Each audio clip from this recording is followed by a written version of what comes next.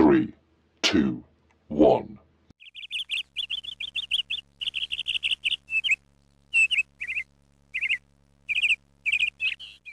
So I'm gonna try this thin copper tubing now.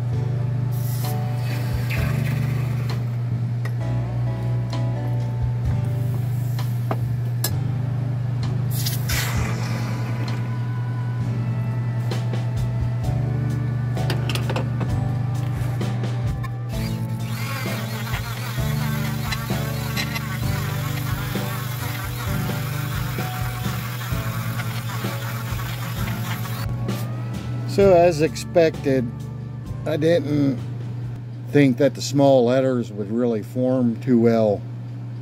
Graphite mold, I don't want to touch them, they're probably still warm. Yeah, that didn't come out too good at all. The backs came out nice. Nice and stampable. So, that's that. The larger letters, if it'll focus for me, that came out alright. The back wasn't too magnificent. This was an experiment. See you in the next video.